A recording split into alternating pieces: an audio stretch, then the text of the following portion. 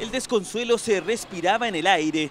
Los funcionarios municipales de Maule miraban atónitos el triste panorama.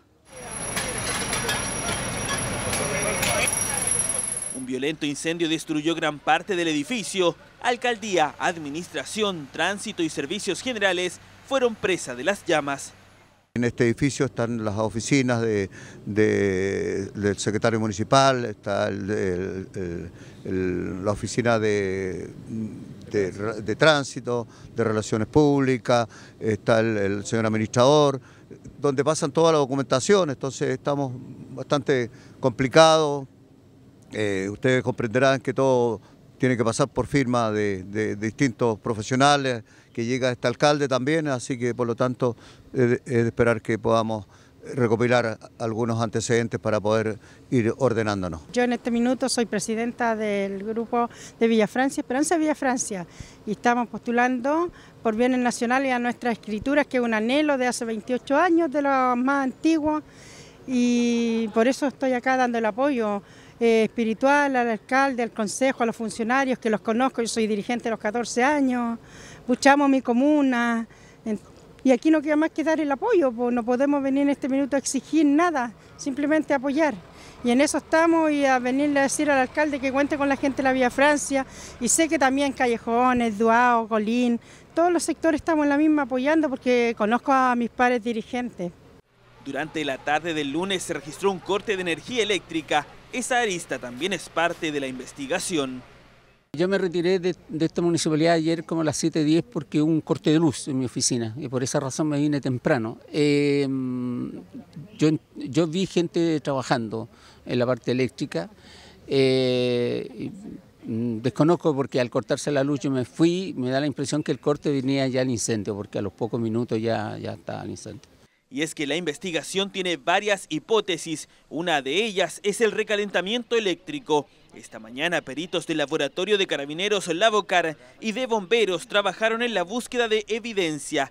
El Ministerio Público busca establecer si existe participación de terceros en el inicio del fuego. Como mencioné antes, una de las razones por las que hay un funcionario y uno de los principales testigos, él menciona de que él manipuló el, tablero y trató de, encender la energía eléctrica eh, o restablecer la energía eléctrica. Eh, pero también hay una zona que mantenían, gracias a un, generador eléctrico que tienen, una zona que se mantenía con energía y otra zona que lamentablemente ya había perdido la energía. Entonces, por esa es una de las causas que estamos estudiando o tenemos la hipótesis que podría haberse originado por algún tipo quizás de sobrecalentamiento eléctrico. ¿Y ese corte raíz de qué fue? No, por eso es una de las, de las causas que estamos estudiando, una de las hipótesis. Se hizo un cambio de una luminaria simplemente, pero de labor de rutina que no tiene aparentemente ninguna incidencia con el desarrollo posterior del incendio, pero que se haya estado haciendo trabajo, no tenemos ninguna información hasta este minuto establecida. Estamos trabajando para ver cuál puede haber sido la causa, pero se descarta por ahora, no tenemos ningún antecedente que nos permita indicar que como consecuencia de un trabajo mal ejecutado el día de ayer, que es hacia donde eventualmente pueda mostrar su pregunta, haya... Eh, sido el foco del incendio. Aquí ya piensan en la reconstrucción. Claro, mientras deben seguir atendiendo a la comunidad. Por eso en los próximos días se habilitarán nuevas dependencias. Estamos viendo dónde podemos irnos ubicando, eh, tenemos algunas partes que eh, podemos ocupar, eh, vamos a ver cómo podemos a lo mejor rápidamente arreglar de alguna manera el, gimnasio posiblemente para trasladar a nuestro personal.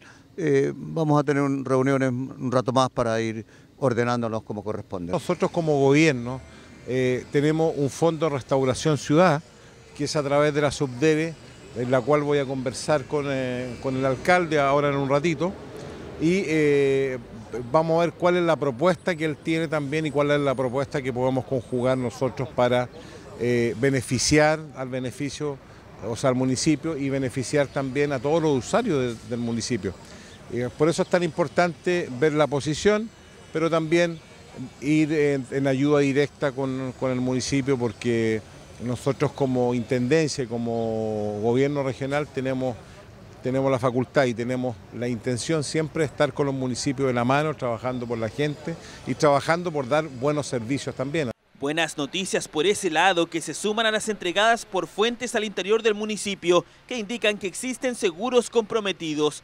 Pese a eso, la investigación judicial continuará con la toma de declaraciones a diferentes trabajadores de esta municipalidad.